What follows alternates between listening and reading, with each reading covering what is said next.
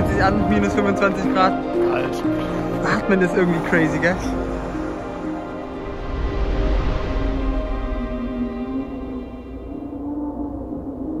Ich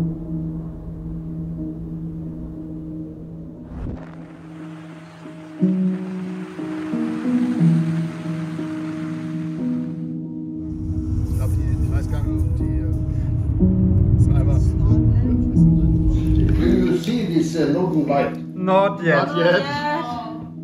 Wir im Whirlpool bei Aurora.